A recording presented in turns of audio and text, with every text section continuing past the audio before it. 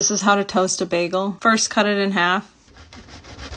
Next, you need to compact your bagels so they fit inside of your toaster. Put all your body weight on them. Next, just plop it into your toaster.